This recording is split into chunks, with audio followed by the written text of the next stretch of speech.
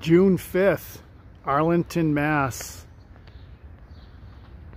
Got some bees that are moved in up underneath that um, gutter into that little bit of a cheek wall right there where the flashing is for the roofing where that cedar shake comes into it. So I'm gonna go inside the house to look for a heat signature.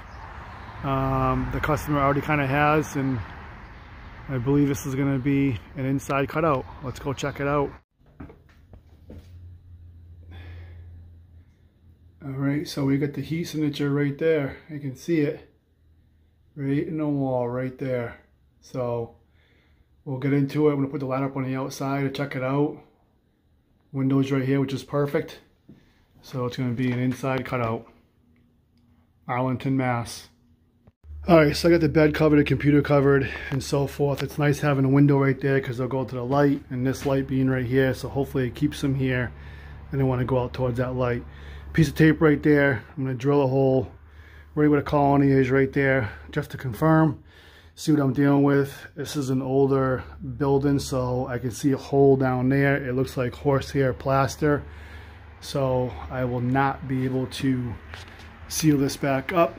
Um, but let's get into it, see what's going on. At least I'll be able to seal the outside so they can't get back in anymore. Arlington, Mass.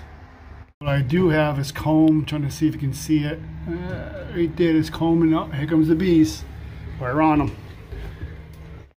give you a little idea of the process of the removal. I cut the square all, the way around, horsehair plaster. So, super dusty. Just gonna work with it slow.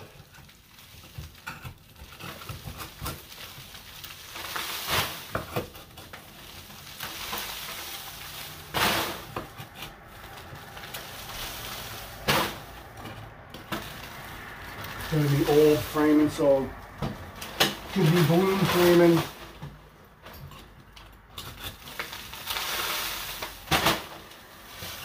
The beams should come out now. I'm starting to get to the, I see where the uh, bunch of studs in here together, three studs. I have to put my bail on here pretty, pretty soon. So looks like a stud here to here, so it should be in this location. Drilled here and found them as you saw.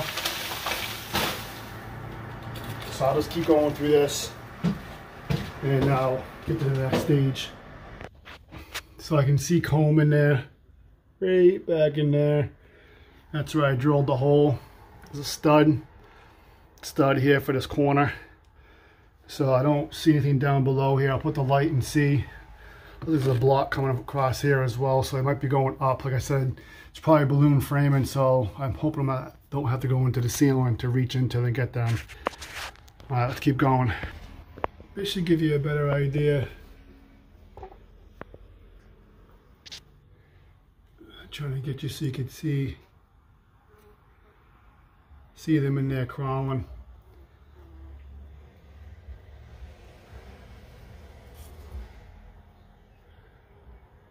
They're in there.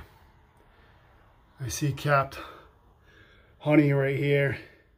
New comb. Looks like there's old comb. So it could have been an old colony here as well. Queen's laying. Good capped brood right there.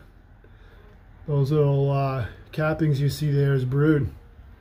So every one of these combs has capped brood on it. Okay. There they are.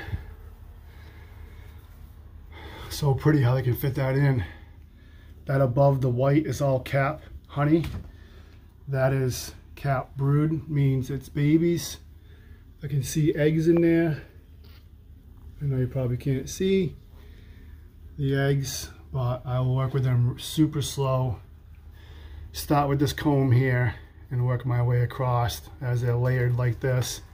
Work to the back a lot of crevices and cracks in here where that queen can go so hopefully we can find her ASAP this is cutout 8 and still no marked queen yet on the swarms and on the cutouts that I've have done so We'll see if this is the one.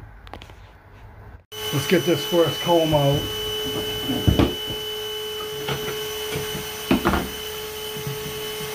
I do put the gloves on because there's a lot of honey in that. And the back side of the comb has bees on it. And I'm hoping the queen will be there. Don't want to get stung. Take a few more bees off. And work from the right to the left.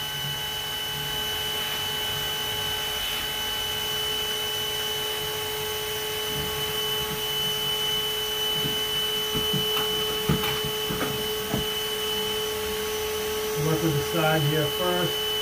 Go real slow. New comb is super, super soft, fragile, fragile, some might say. Push the bees out of the way.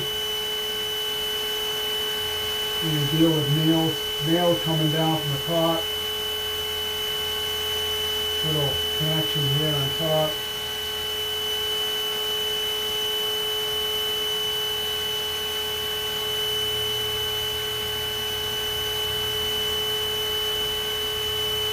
Back pretty far.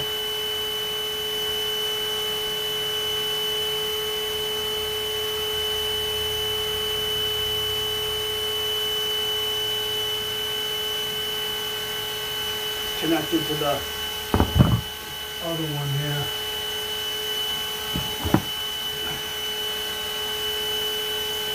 Trying to work it the best I can. The bees don't give me much time before they start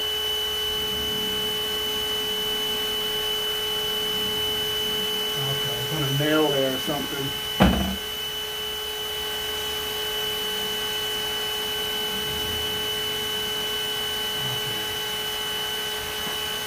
There's the back side like I told you.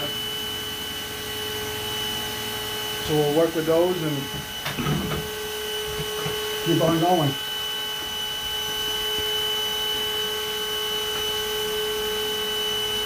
Honey's good. They are all working.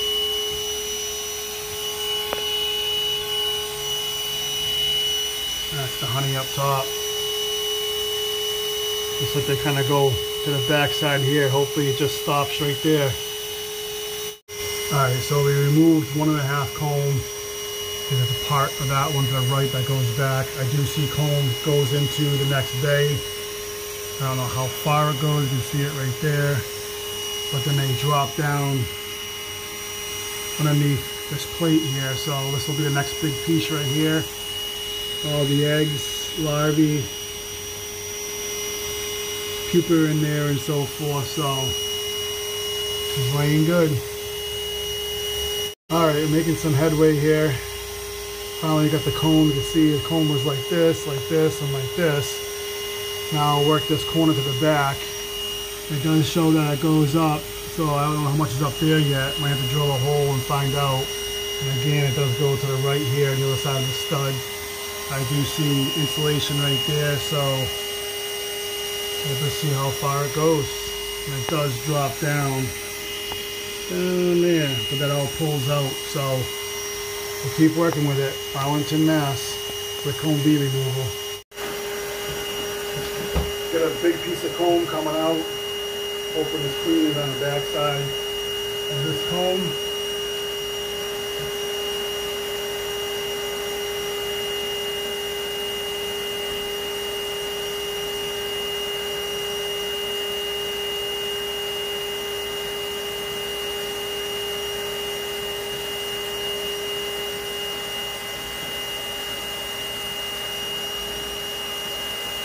See there.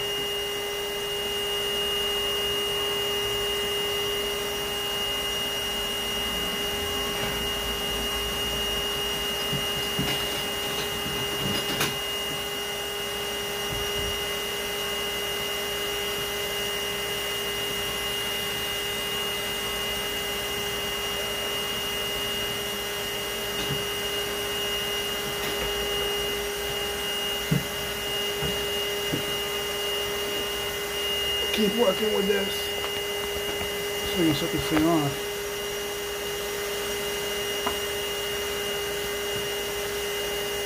Okay, so we're at a point, I got all that removed. The good news is that this goes up on an angle this way. So this is just a couple of tips of the comb up there to remove. Just a matter of how far it goes this way.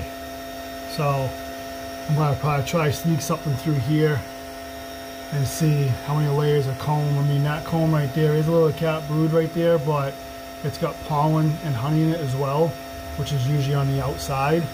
So um, and I'm hoping if I pop this piece off, she's just hiding on the other side of that. So Arlington, Massachusetts, Whitcomb bee removal. Alright, so I took that one comb out, got one more back there. Hangs down a little bit down in there. See if we can get the light so you can see. So the queen's probably no doubt climbing down there. Being very cautious because if she drops, she can drop down a big cavity. And I'll have to wait her out. So one more comb behind the stud. So we'll keep on going.